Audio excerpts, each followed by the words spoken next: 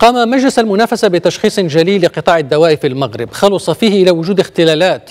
وأوضح المجلس في بيان أنه تدارس وصادق بالإجماع على مشروع الرأي المتعلق بوضعية سوق الدواء بالمغرب. المزيد حول هذا الموضوع مع مريم بتسوري التي تنضم إلينا. اليوم مساء الخير مريم. مساء الخير عبد الله مشاهدينا أهلا بكم.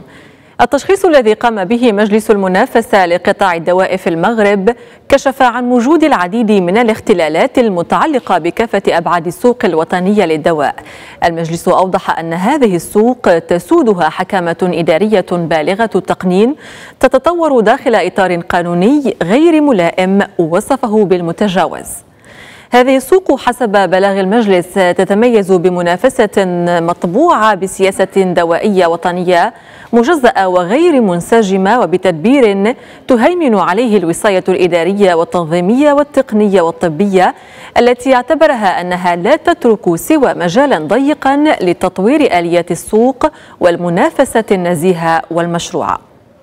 السوق الوطنية للدواء تتشكل في غالبيتها من الأدوية الأصلية مع معدل ضئيل جدا لمكانة الأدوية الجنيسة التي لا تتجاوز نسبتها 40% في حين أن المتوسط العالمي يناهز حوالي 60% ما يجعل هذه السوق ضيقة بمعدل استهلاك ضعيف للأدوية لا يتجاوز في المتوسط 450 درهما لكل شخص سنويا في حين أن هذا المعدل يبلغ 3000 درهم في أوروبا.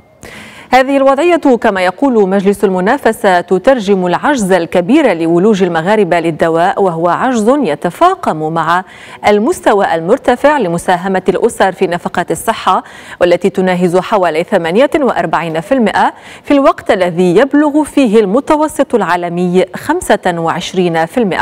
وأبرز المجلس أن ضيق السوق الداخلية للأدوية يتزايد تفاقما بفعل نظام للطلبيات العمومية بدون أهداف محددة تطرح العديد من التساؤلات المرتبطة باحترام قواعد المنافسة.